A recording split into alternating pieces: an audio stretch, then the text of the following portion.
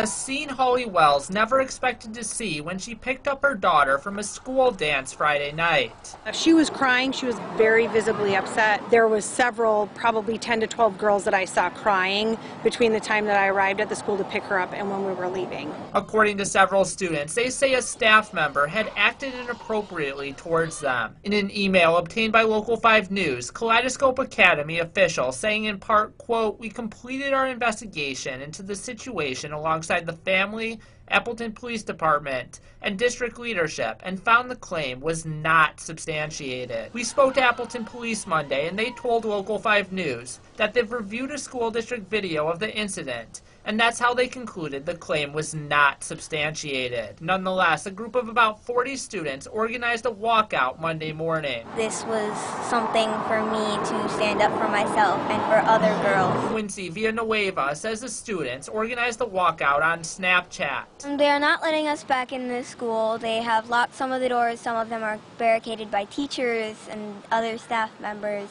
Throughout the day, there were Appleton police cars here at the school. There was also a fire truck as well as an ambulance.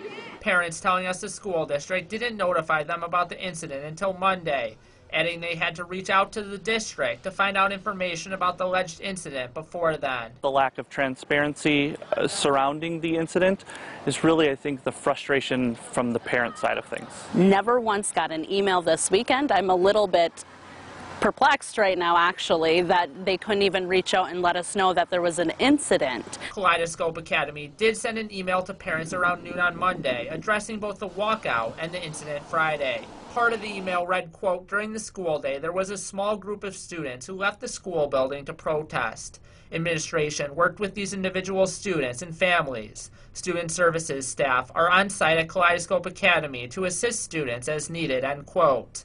At least one parent of a student who participated in the walkout said the school district did not work with the parents at all. In Appleton, Paul Steno, Local 5 News. Local